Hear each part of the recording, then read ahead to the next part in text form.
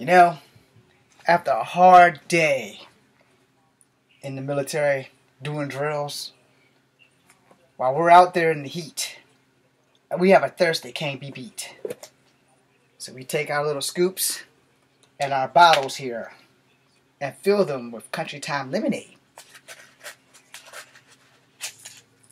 And without a doubt, our thirst is quenched.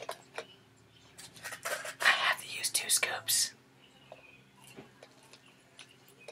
It's not because I'm greedy, it's just because I'm needy.